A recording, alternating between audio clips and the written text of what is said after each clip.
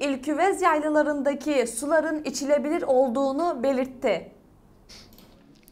Çaybaşı ilçesine bağlı İlküvez Mahallesi Göksu mevkii Dağlı Ağaç yüzeysel su kaynaklarına ilişkin Samsun Halk Sağlığı Müdürlüğü'nün içilemez raporuyla ilgili Ordu Büyükşehir Belediyesi Su ve Kanalizasyon İdaresi Genel Müdürlüğü yazılı açıklama yaparak cevap verdi.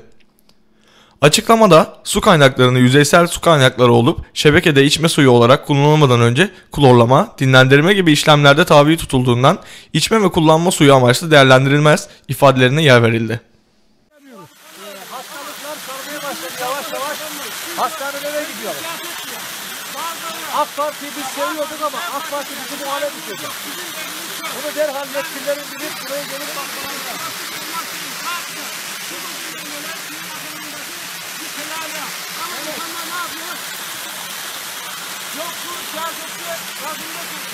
Burası pislik yapıyor. Vallahi billahi mağdur.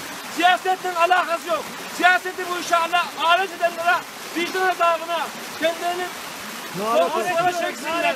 Korkunç yola çeksinler. Allah aşkına. Benim Allah'ım var diye şu suya baktı. Yok diyen rahmetler bize bir vatandaş olarak görmesin Allah aşkına ya. Yok şu şöyle, yok bu şöyle. Yok el- Gerçek